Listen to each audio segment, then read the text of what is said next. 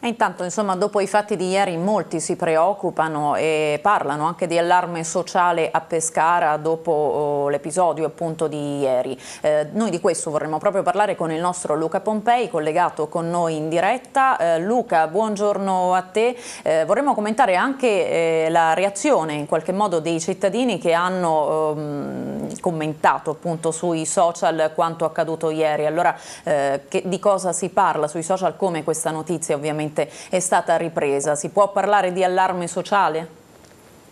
Anna, un buongiorno a te, un buongiorno anche a tutti gli amici telespettatori. Beh, eh, intanto su questo tema, questa mattina il nostro Enrico eh, Giancarli ha voluto ascoltare il sindaco eh, Carlo Masci perché l'episodio è stato certamente inquietante e comunque meritevole di un approfondimento.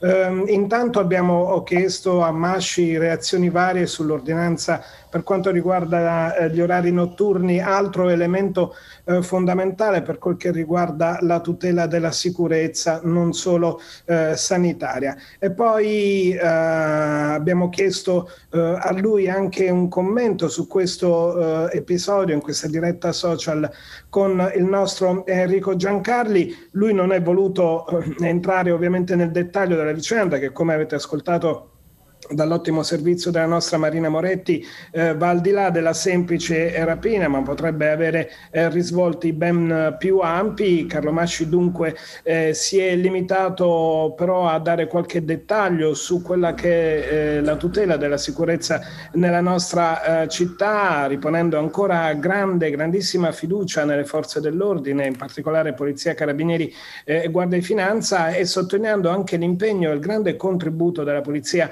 eh, municipale che proprio nei giorni scorsi ha svolto eh, un'oper- un'operazione importante per quel che riguarda la repressione del fenomeno dello spaccio di sostanze eh, stupefacenti. Insomma, una città da tenere sotto controllo, dice Carlo Masci, ma che eh, insomma anche sentendo le parole del capo della squadra mobile Dante Cosentino che parla di città non eh, omertosa, ehm, ecco la risposta della città nell'attenzione eh, rispetto a determinati eh, fenomeni eh, fa eh, ben sperare.